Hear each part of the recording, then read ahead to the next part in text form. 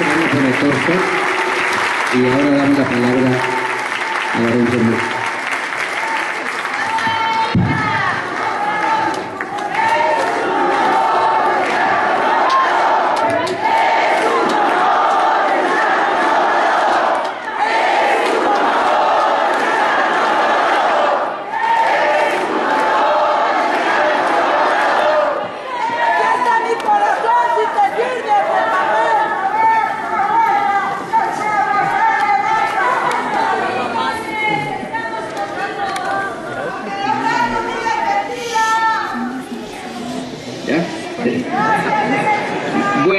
la enfermera.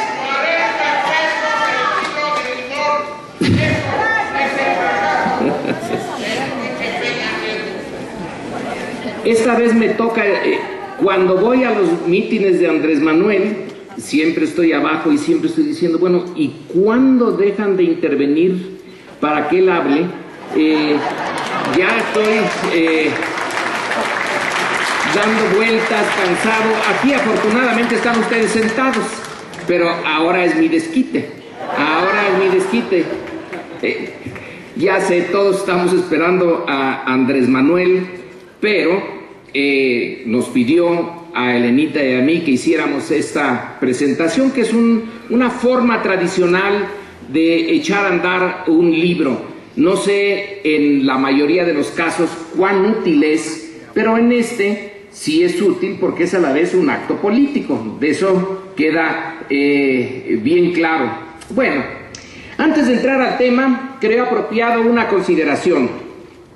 En primer lugar, a mi juicio, es muy buena señal que un político, que por definición es un personaje de la vida activa, y vaya que si Andrés Manuel lo es, creo que es la única vida que tiene, la vida activa, se preocupe también por estudiar el pasado para entender el presente y otear, otear nada más el futuro. En México abundan los políticos, incluidos algunos que llegaron a la presidencia, que se lanza a la acción sin tener más que un precario conocimiento de las fuerzas que forjaron a este país en el que ellos se proponen actuar. Y bueno, tenemos unos todavía hoy vivitos y coleando a los que les podemos aplicar esta falta de conocimiento de su propio país. Pero pasemos ahora a la obra que se presenta, Neoporfirismo, que igual está muy bien el, subtítulo y que lo usa en el epílogo, hoy como ayer, por lo menos casi, casi hoy como ayer. Este no es un libro de un historiador, sino de un personaje político que busca claves, claves en el pasado de México para entender el conjunto de los grandes temas, o más bien de los grandes problemas que caracterizan nuestro presente. Es por ello, por su interés político, que Andrés Manuel es muy selectivo en los puntos que aborda. Ya lo verán cuando lo lean. Desde el inicio y en numerosas ocasiones a lo largo de toda la obra, Andrés Manuel se refiere a Daniel Cosío Villegas y a su magna obra en diez tomos, que es la Historia Moderna de México, especialmente su segunda parte, el Porfiriato, donde Cosío y sus colaboradores examinaron la vida política interna y externa, la social y la económica de México entre 1877 y 1911. Cosío se propuso en los años 50 estudiar a ese México, al de Juárez primero en la República Restaurada y al de Porfirio Díaz, al que estudia Andrés Manuel, como una forma de entender el fracaso el fracaso de la revolución de 1910. Fracaso que Cosío Villegas condensó en un ensayo que, por cierto, Andrés Manuel, cuando estaba al frente del gobierno de la Ciudad de México, eh, reeditó y andaba regalándole a todo el mundo, el de, eh, el, eh, de la crisis de México. Este lo escribió don Daniel en 47. Entonces, la idea de don Daniel es voy a escudriñar en Juárez y en don Porfirio qué rayos pasó entonces para explicarme lo que está pasando ahora en 47, en 50, hasta 60, que es cuando terminó sus trabajos. Pues bien, Andrés Manuel sigue por ese camino, ya no como historiador, sino como político, como un político que quiere entender la historia del país en el que está y considera que para entender todos los puntos negros del México del siglo XX y lo que va del XXI, y que son muchos puntos, hay que remontarse al porfiriato. Desde esta perspectiva, es en los años dominados por la figura del general Díaz, al que Andrés Manuel siempre llama Porfirio. Nada de don Porfirio, nada de general ni de presidente, a secas. Es ahí donde los actuales males políticos de México adquirieron la forma en que han llegado hasta nosotros. No es que vengan de entonces, también Andrés Manuel lo acepta, admite y dice, Porfirio, como es obvio, no inventó todas las prácticas autoritarias y estas tampoco surgieron de la nada, muchas venían de tiempo atrás. Nos lo dice, pero hasta ahí se queda. Él va básicamente a poner en la banquillo de los acusados a Porfirio Díaz. Se ve que Andrés Manuel estaba realmente de humor ni en condiciones para explorar esos antecedentes que pueden ser desde prehispánicos. Se lanza duro y derechito contra Porfirio Díaz y no le da ningún respiro, ni una sola concesión. La decisión de Andrés Manuel de centrarse en el porfiriato como antecedente de nuestra problemática es muy atinada, a mi juicio. Y es que esos tres decenios porfiristas fue la época en que realmente el México independiente tuvo su primer régimen político propiamente dicho, es decir, un conjunto más o menos coherente de instituciones que permitieron a un grupo ejercer el poder en todo el territorio. Todo lo que hubo antes, desde Iturbide, en eh, el momento de la independencia, incluyendo Juárez, a quien Andrés Manuel eh, ha trabajado y respeta mucho, no lograron conseguir un régimen. El primer régimen político del México independiente es ese que decidió estudiar eh, Andrés Manuel. Ahora bien, y este es el meollo de la obra, prácticamente la mayoría de los problemas que Andrés Manuel detecta en el porfiriato no se acaban con la caída de ese régimen.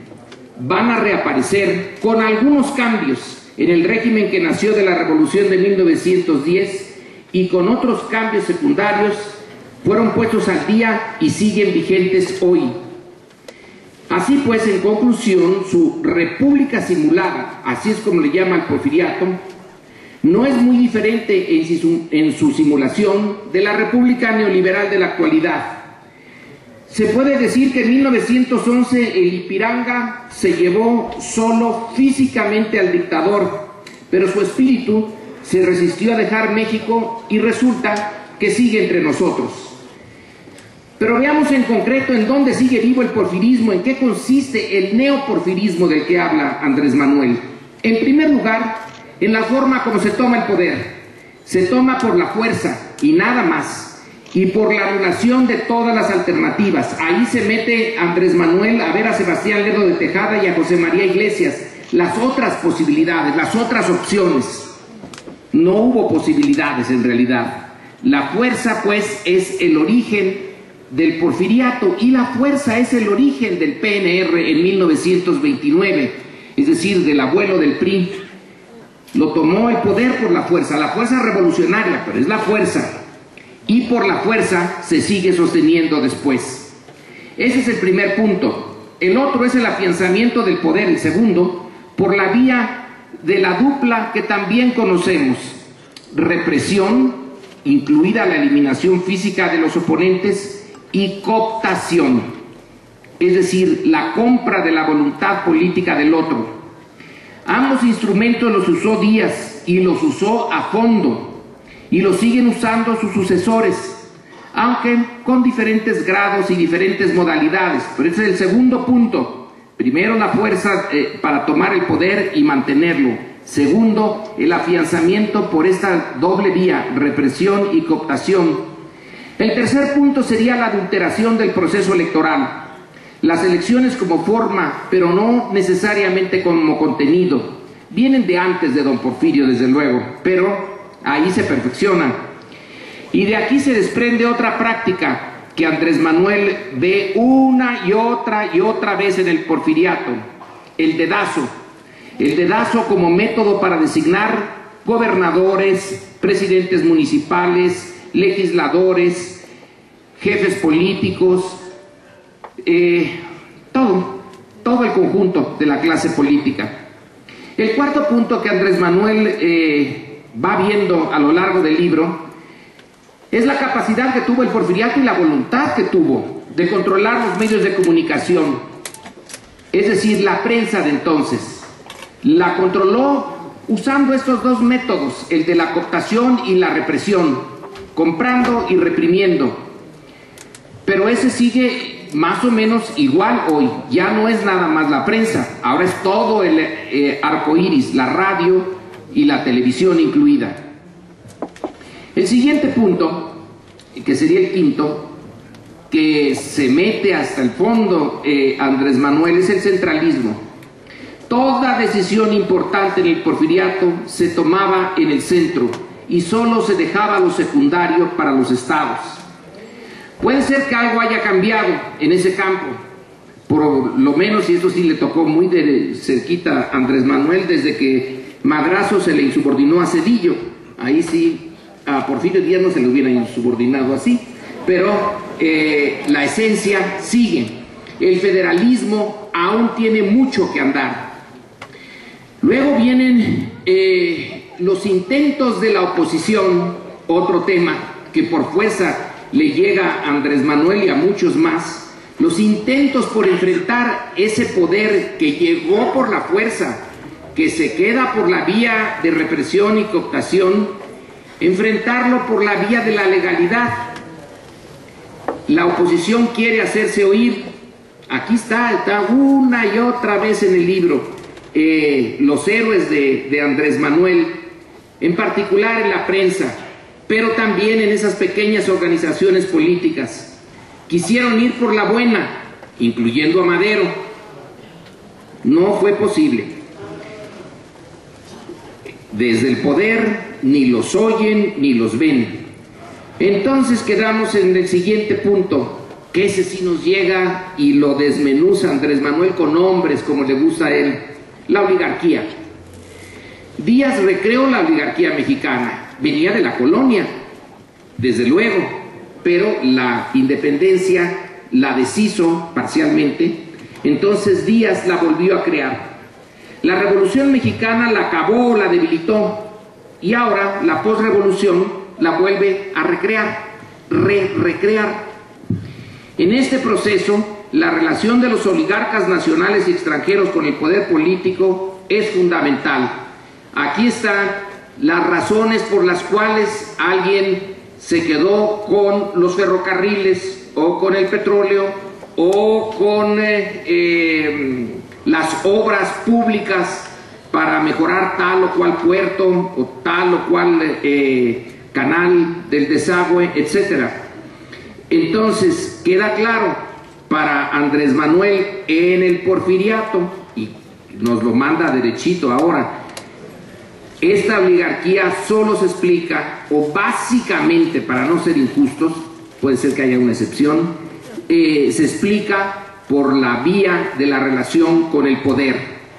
Por la relación directa con Porfirio Díaz se hicieron los nuevos latifundistas de la época Terrazas, por ejemplo, los banqueros, las empresas mineras, las ferroviarias, las petroleras, los contratistas y, nos dice Andrés Manuel, casi no necesitaba decirnos, nada más nos lo deja allí, pues es lo mismo ahora.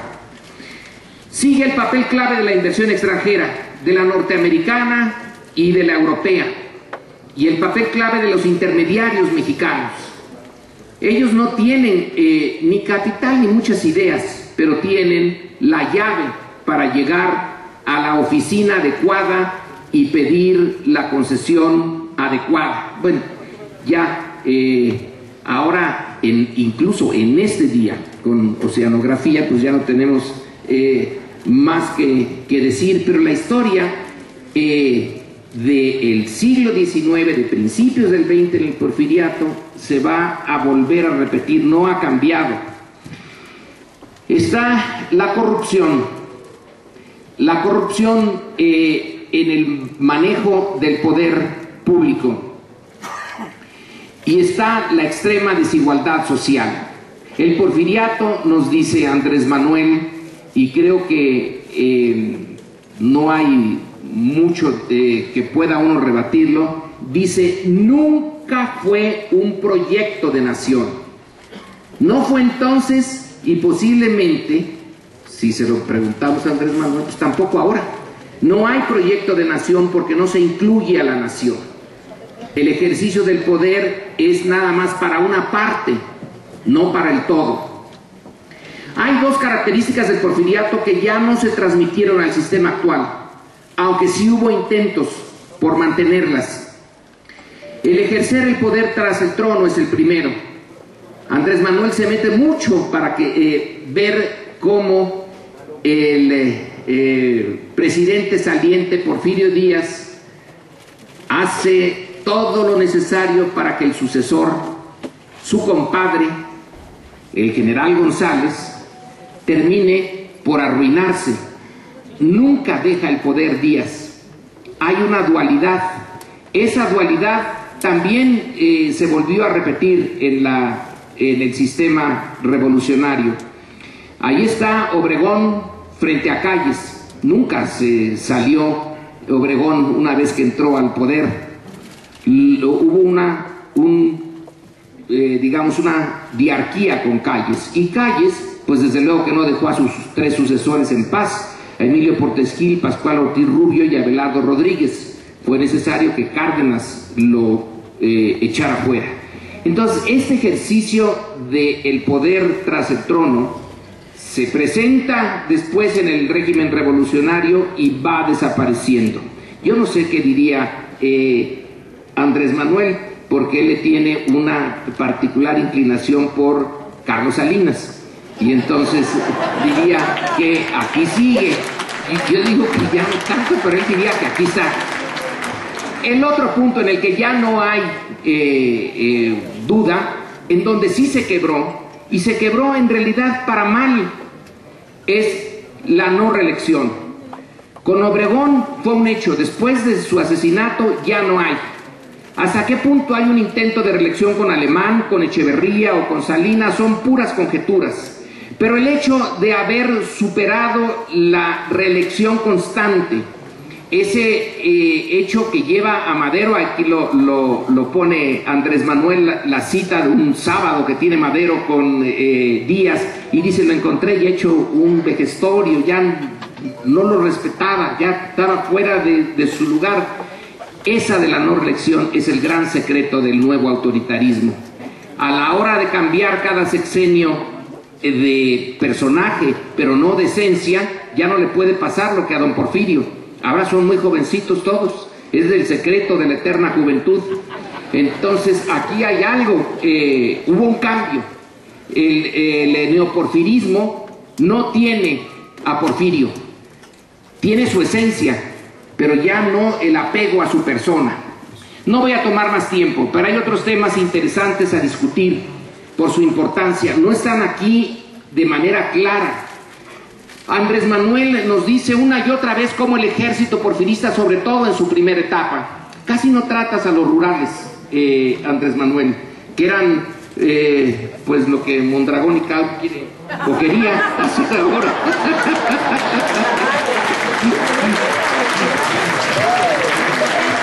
Pero el papel del ejército en el neoporfirismo en el neoporfirismo, ¿cuál es su papel? En el porfirismo, sobre todo en el inicial, Andrés Manuel le da muchísimo peso al ejército. El ejército aquí, el ejército allá, el ejército hace elecciones, el ejército reprime, el ejército, el ejército, el ejército. Eh, en, esta, eh, en el neoporfirismo ya no aparece tanto el ejército. Y hay otro eh, tema, Andrés Manuel, que sería interesante que a lo mejor no es necesario, porque topar con él es difícil, la iglesia. La iglesia está en el porfiriato, Vaya que si está, pues si por eso sale el Partido Liberal. ¿Dónde anda ahora en el neoporfirismo? Tengo mis sospechas, Andrés Manuel, de que por aquí anda. Eh, entonces, también lo que no tuvo el porfirismo y la revolución sí, lo que permitió al neoporfirismo que no finalmente no se fuera en el Ipiranga es un partido de Estado. El porfiriato no podía tener un partido de Estado porque la personalidad de don Porfirio era tan fuerte, y ahí lo discute Andrés Manuel, en estos eh, momentos en que ya se va, no se va, sí se va, no se va, eh, no se fue, hasta que lo fueron. Lo que nunca tuvo el eh, porfiriato fueron bases organizadas en los sectores populares, y eso el neoporfirismo, para bien y para mal, sí las tiene. Y finalmente, aquí Andrés Manuel, es que esta frase es buenísima. Aquí es donde salvas al, porfirismo y le das duro al neoporfirismo. Dices, la principal, la corrupción hoy, hoy en el siglo XXI, es la principal función del Estado. Esa frase no se la dices a Porfirio Díaz, se las dices a los de ahora. En ese sentido, hemos ido para atrás.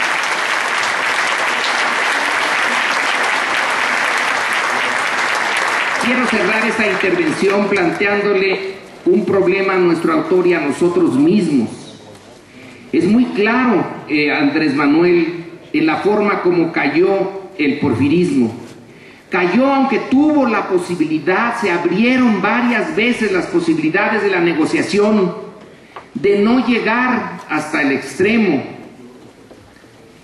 Y tú, como dice Elenita al, eh, al final, dices la no violencia.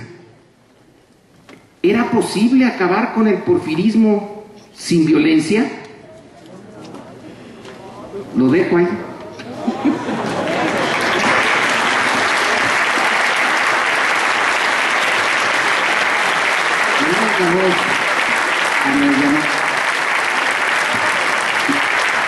Bueno, está dicho todo y espero que eh, les guste el libro. Es eh, un trabajo.